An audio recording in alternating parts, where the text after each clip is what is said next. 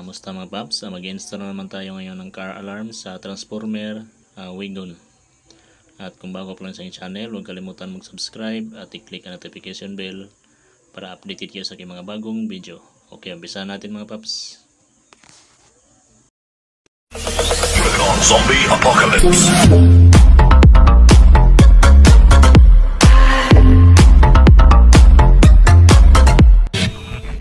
Mga paps, bago ito simula sa sasakyan mga paps, ito ang ating car alarm. Dynastic sa kanyang membran. Ah, ilagay ko lang sa description description yung mga paps no, yung link ng alarm natin kung saan ko siya nabili. Ay ituturo ko sa inyo kung anong mga kulay nito at para saan ito ikabit.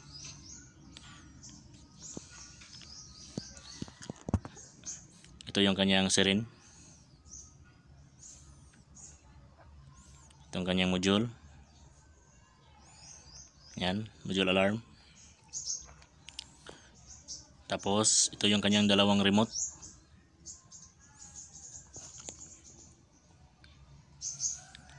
Ito yung kanyang sensor.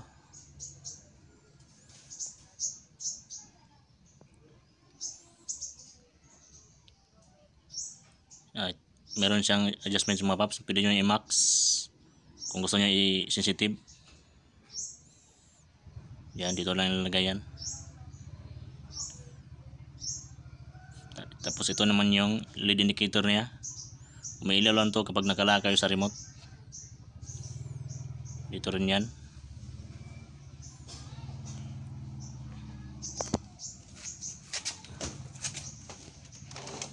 Tapos ito yung kanyang speedity relay pang kill switch.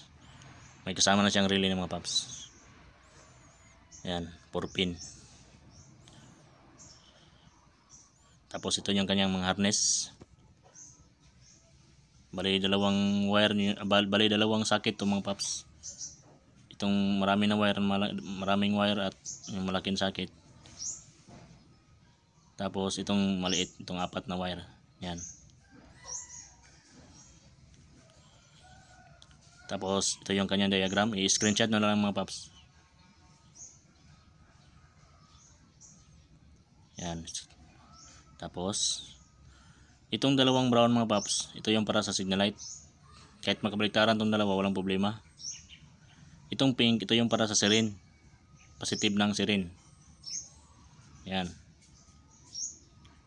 Ilagay nyo sa patisip na, ito yung siren natin mga paps. Meron siyang dalawang wire. Ang red at saka black. Yung pink mga paps, lagay nyo sa red. Yan. Tapos yung black, connect natin sa ground. Next natin. Itong red mga pap, positive. Lagay natin to sa live wire. Yan, mayroon siyang fuse. 15 ampere. Tapos itong red na may stripe na black mga paps, ito yung para sa trunk. Para sa compartment sa likod. Pero hindi ko nagagamitin to mga paps kasi mayroon ng sin, ah, central lock yung sasakyan natin sa likod. Meron na siyang central lock. Tapos black, negative, connect natin sa body ground. Tapos next natin, itong mga paps, itong wire na ito, mayroon tayong gagawin dito. Itong yellow na may stripe na black. Yan. Tapos itong isang dilaw, solid yellow. Pagsamahin natin silang dalawa. Yan. Putulin natin.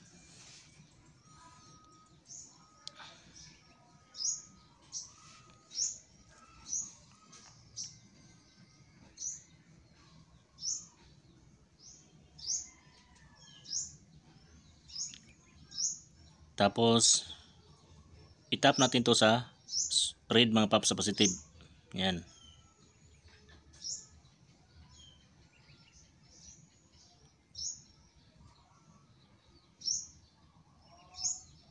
Tap natin ito mga paps.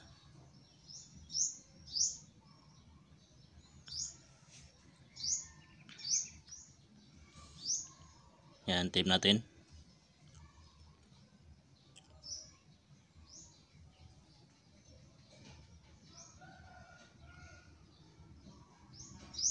Okay. Anis natin itong ito namang mga paps itong red na ay orange na may stripe na black. Yan. Tapos solid orange.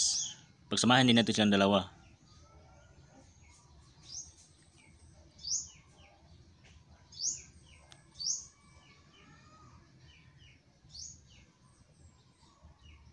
Yan, pagsamahin silang dalawa. Tapos, connect natin sa black negative.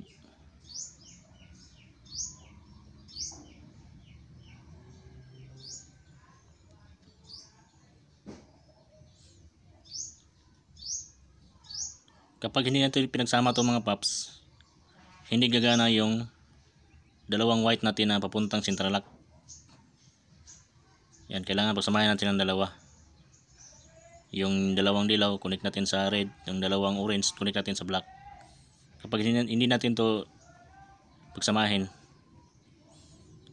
hindi gagana tong dalawang white natin. Yung papuntang central lock. Itong white na may stripe na black at saka solid white. ah, ito. Yan, yung white na may stripe na black. Yan, tapos solid white. Ito yung papuntang central lock. Ito yung nagkocontrol ng actuator. Pero hindi na tayo gagamit ito mga paps kasi yung Wigo natin mga paps ay sira na yung module na central lock. Wala na siyang power, tinanggal na yung module. Hindi natin ito gagamitin. I-direct na natin yung wire ng alarm. No? Tapos tip natin lahat mamaya. Okay, ito naman mga paps no. Saksak muna natin. Mayroon tayong naiwan na itong apat na wire sa sakit. Ito. Ito naman mga paps.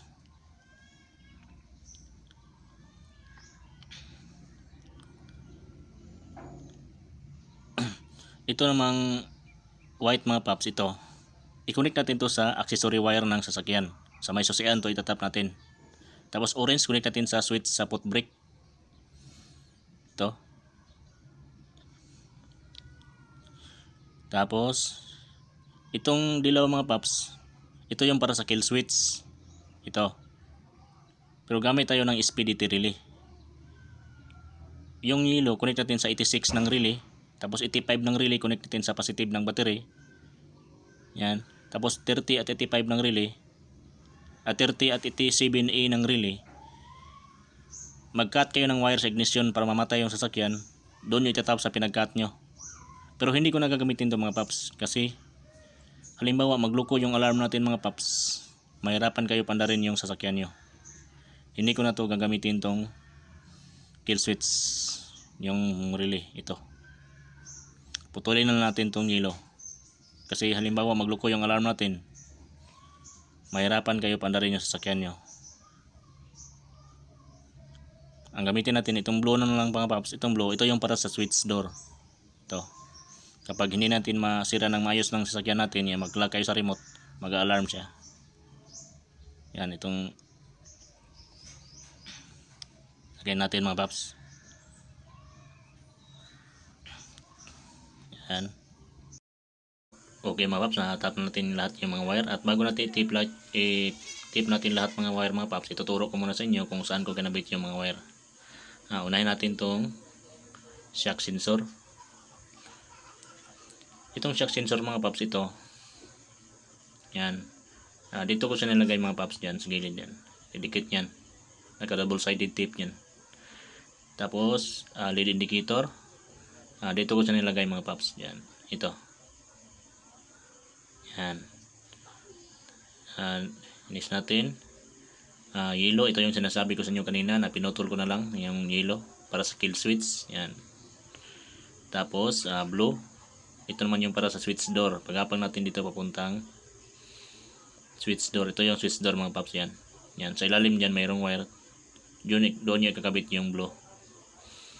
Ah, next. Ah, saan na ba tayo? Ah, orange. Orange, ito yung para sa switch sa foot brake. Ito. Ito naman, dito natin, ito yung pedal ng brake natin. Sa taas dyan, mayroong sakit. Hanapin nyo yung wire ng yan ito. Mayroon yung kulay green na may stripe na white. Yan. Yan. Green na may stripe na white. Diyan i-connect yung orange wire ng alarm na trigger yan ng brake light. Tapos, ah, next natin, white. Ito. Itong white, ito, yung, ito naman yung papuntang accessory wire. Ah, hindi na natin ilagay sa ignition mga paps. Dito na ilagay natin sa likod ng fuse. Yan. Sa likod niyan, meron dyan mga wire marami. Yan. Hanapin nyo yung pinakamataba na blue wire. Yan, yung pinakamataba na blue wire yan. Accessory wire yan mga paps.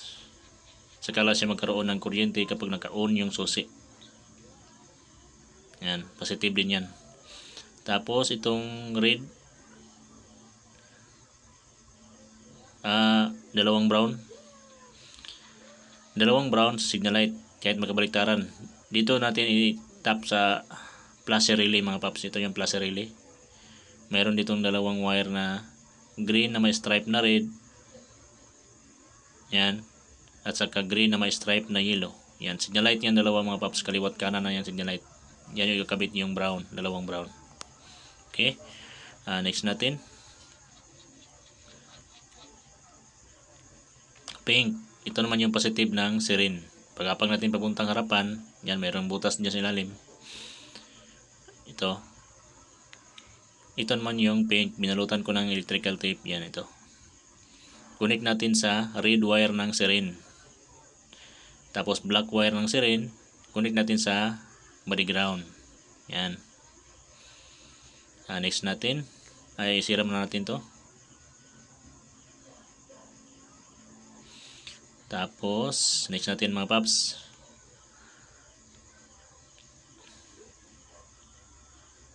Ah, red. Tap natin to sa positive na galing battery. Live wire yan. Kahit nakapatay yung susi, mayroon siyang kuryente. Dito sa likod ng fuse, mayroon itong red na may stripe na white. Positive din yan mga paps. Yan. Itong white na may stripe na yellow, positive din yan. Pero mas madali, ah, sa red nyo lang yung itap. Maraming positive yan mga paps. Yung, yan ito positive din to. Ah, sa red na lang yung tap natin. Sa red na may stripe na white, positive din yan. Kahit na, na kahit nakapatay yung susi, mayroon siyang pa rin kuryente. Tapos, ah, itong red na may stripe na black. Ito, ito yung para sa trunk. Yan, pinutol ko na yan. Wala, wala naman trunk tong kasi sabay naman lahat yung mga pinto maglalak. Hindi katulad ng kutsi. Yan. Tapos black. Ito, negative. Ah, sa body ground ko nil- nilagay mga paps. Dito ko nilagay sa body ground yan. Ay, tornilyo. Tapos, next natin. Itong dalawang dilaw, yellow na may stripe na black at saka solid yellow, pagsamahin, tap natin sa red. Tapos, er- orange na may stripe na black at saka solid orange, pagsamahin, connect natin sa black. Yan. Tapos, ito naman pupuntang actuator. White na may stripe na black at saka solid white. Dito ko kinabit mga babsa pero itong transformer ng mapasan, wala na tong central lock, wala na hindi naka power lock kasi tinanggal na nila yung module ng ah, central lock yan. Tinanggal na nila mga paps. Yan sa binilhan nila ng sasakyan. Kasi pag bili nila nito, wala nang central lock. Yan, tinanggal na nila sa but. eh. Ang kailangan natin mga paps, hanapin nyo lang yung blue wire dyan. Mayroon diyang blue dalawa. Ito. Itong blue na may stripe na black at solid blue. Yan. Connection yan ng lahat ng actuator papunta kahit saan. Sa sa, sa driver side, sliding door. Pero dito na natin hanapin mga pap dito sa yan. Papuntang driver side nga door yan. Yung white na may stripe na black, connect natin sa blue na may stripe na black. Yan. Papuntang actuator yan. Sa driver side. Tapos, yan sana makita nyo mga paps. Hindi malabo yung camera natin. Tapos, next natin, itong white naman, solid white, connect natin sa solid blue din. Yan. Connection yan lahat sa passenger side, sliding door at saka sa likod. Yan. Iisa lang yan mga paps. Yung white, connect natin sa solid blue. Tapos white stripe na black, connect natin sa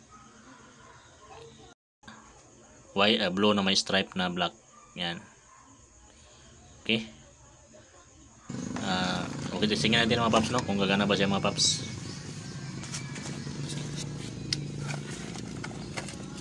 Halak natin.